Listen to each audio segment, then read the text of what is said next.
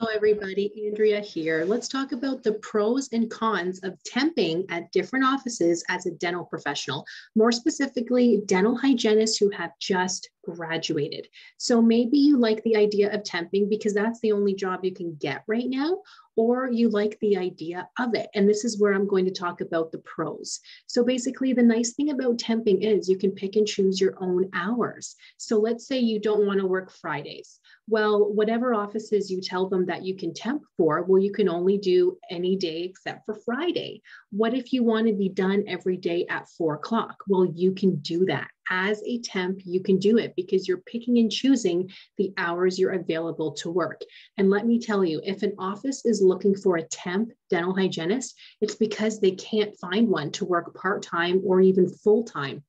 Um, depending on where you're located around here, it's almost impossible to find a dental hygienist. There's just not enough out there, especially dental hygienists who are temping. It's still almost impossible because they're being taken by other offices and there aren't enough temps out there. So I tell um, new dental hygienists, if you're just starting, um, if temping is something you want to do, you can absolutely make more money because you can pick and choose what you want to make, basically. Of course, within reason.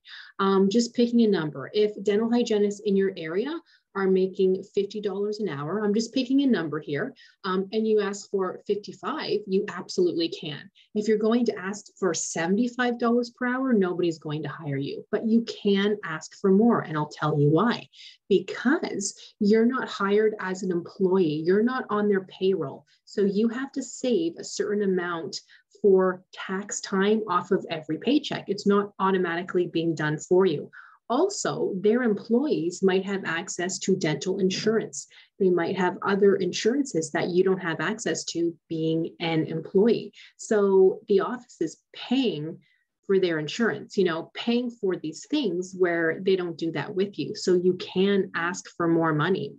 And I'll say it again if an office is asking for a temp, looking for a temp, they're desperate. So you can ask for more money. I'm going to go over in another video how to do that and how to respond when they're giving you a hard time, when they might be saying to you, you're asking for $55 an hour. We would never pay that. Okay, take it or leave it. But I'll talk about that more in another video. So those are basically the pros of temping. You can pick and choose. People are desperate. You can ask for more money. And you know what? You're always going into something new. But let me talk about the cons of temping, especially being a new dental hygienist. I feel being a new dental hygienist, you're so unsure, right? You're so overwhelmed. I remember when I was first a dental hygienist, the idea of temping scares me because I would want to work for the same office to know how they did things. How do they do their charts? How do they how do they do the checks? How do they book appointments? You know, I would want to do that. I would want to know what I'm getting into. But if that doesn't bother you, then don't worry. Temping is fine. So that's kind of a con. There's always going to be something new. But what if you're temping at the same three offices? Well, then you get to know those offices, and that's a good thing, right?